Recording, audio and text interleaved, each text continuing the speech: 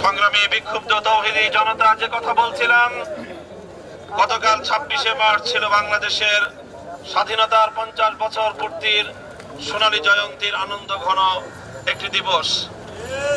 কিন্তু অত্যন্ত দুঃখ এবং পরিতাপের সাথে বলতে হয়, হৃদয়ে আমাদের রক্তক্ষরণ, গোটা বাংলাদেশ আজকে স্তম্ভিত যে সেই স্বাধীনতার সোনালী জয়ন্তী, সোনার ছেলেদের সন্ত্রাস এবং রক্ত পিপাসায় মিলান হয়ে গিয়েছে। বাংলাদেশের স্বাধীনতার সুবর্ণ জয়ন্তী এমন বিষাদময় হবে, এত দুঃখজনক হবে, দেশের সন্তানদের রক্তে, বাংলাদেশের মানচিত্র রক্ত রক্ত রঞ্জিত হবে, লাল হবে, এ কথা আমরা কেউ চাইনি। আমরা বরাবরের মতো সরকারকে সতর্ক করছিলাম। নরেন্দ্র মোদীর মতো নরঘাতককে এই দেশের এই জাতীয় উৎসবে এনে এই উৎসবকে কলঙ্কিত করবেন না। এদেশের মানুষ নরেন্দ্র মোদীকে বরদাস্ত করবে না। যার হাতে বাপরি মসজিদের শাহাদাতের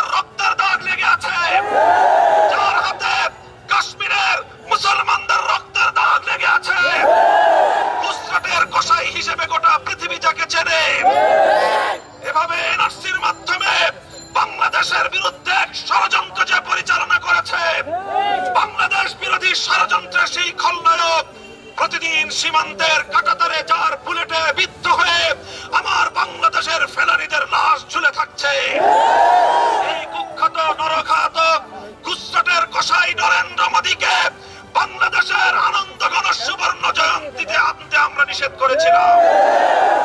কিন্তু আমাদের এই কথা, আমাদের এই আহ্বান, দেশের প্রতি আমাদের এই ভালোবাসার এই চিৎকার প্রধানমন্ত্রী শেখ হাসিনা তার কর্ণকুহরে প্রবেশ করেনি। জানি না তিনি কোন দায়ে দায়বদ্ধ ভারতের প্রধানমন্ত্রীর কাছে। যেই দায় স্বীকার করার জন্য, যেই দায়ের ঋণ পরিশোধ করবার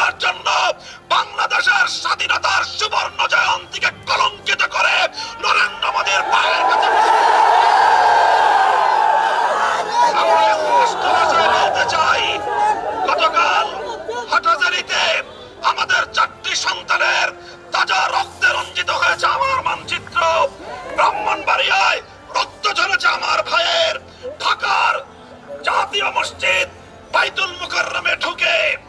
সরকার দলীয় ছাত্র এবং যুব সংগঠনের সন্ত্রাসীরা জুমার নামাজে যেভাবে আতঙ্ক সৃষ্টি করেছে, এখানে সন্ত্রাসের ভয়াল জনপদে রূপান্তরিত করেছে গতকালকের আপনারা সংবাদ মাধ্যমে দেখেছেন বিভিন্ন উপায়ে দেখেছেন, গোটা বাংলাদেশে গতকাল সকাল থেকে সন্ধ্যা পর্যন্ত মহড়া দেওয়া হয়েছে, মহড়া। পঞ্চাশ, একশো, দুশো হোন্ডা নিয়ে সন্ত্রাসী হেলমেট বাহিনী মহড়া দিয়ে গোটা দেশের মধ্যে এক আতঙ্কজনক পরিবেশ সৃষ্টি করেছে। কারা ছিল সেই হেলমেট বাহিনী তাদের পরিচয় জানতে চাই। যদি এভাবেই দেশের জনগণের স্বাধীনতার দিবসকেও যদি আপনারা চিন্তাই করবার পায়তারা করেন, দেশের স্বাধীনতা চিন্তাই করেছেন, জনতার স্বাধীনতা চিন্তাই করেছেন, জনতার পিঠ দেয়ালে ঠেকে গেছে, জনতা যদি রাজপথে নেমে আসে, হেলমেট বাহিনী পালাবার পথ খুঁজে পাবে না। সকল দায়িত্ব আপনাদেরকেই বহন করতে হবে দুই হাজার তেরো সালের দুই হাজার তেরো সালের পাঁচই মে দুই হাজার তেরো সালের পাঁচই মে এভাবেই যারা দুই হাজার তেরো সালের পাঁচই মে। এভাবে যারা পবিত্র কোরআনে পাকে অগ্নিসংযোগ করেছিল, যারা গুলিস্তান, পল্টন এবং দৈনিক বাংলা থেকে নিয়ে বিজয়নগর পর্যন্ত হেফাজতের কর্মীদের রক্ত দিয়ে ঢাকার পথ যারা রঞ্জিত করেছিল, শাপলা চত্বর যাদের হাতে রক্তে ভেসেছিল, সেই বাহিনী আবার গতকালকে মাঠে নেমেছে আমরা আইন শৃঙ্খলা রক্ষাকারী বাহিনীর প্রতি উদাত্ত আহ্বান জানাতে চাই। যদি আইন শৃঙ্খলা রক্ষার প্রয়োজন হয়, আপনাদেরকে দেশ, বাংলাদেশ, আপনাদেরকে লালন পালন করে। আপনাদের ভাতা দেয়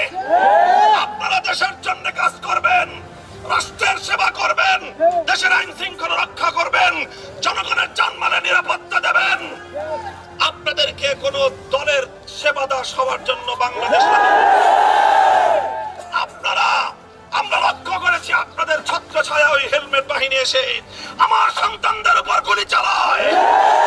আমার ভাইদের বুকগুলোকে যাত্রা করে দেয় এই সন্ত্রাসী নরঘাতকরা, তোমাদেরকে বলে দেই, তোমরা আর বেশি দিন এভাবে আস্ফালন করার সুযোগ পাবে না। দেশের মানুষ কীভাবে বিক্ষুব্ধ হয়ে উঠছে দেখো।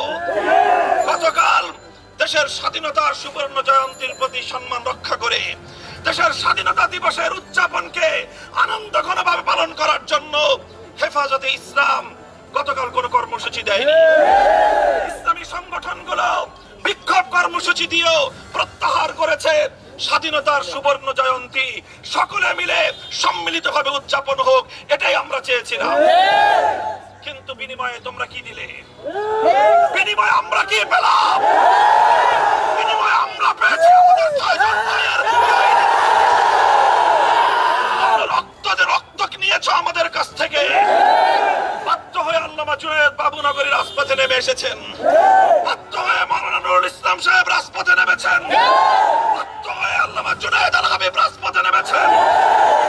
আমরা কর্মসূচি দিতে হয়েছি।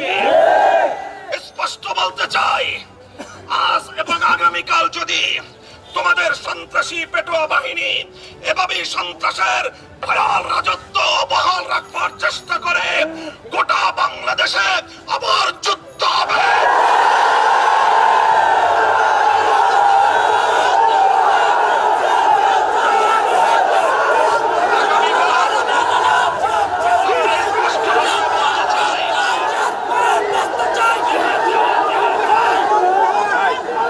আমরা বলতে চাই আমরা বলতে চাই আমাদের যে সকল ভাইদেরকে শহীদ করা হয়েছে শহীদদের ক্ষতিপূরণ দিতে হবে।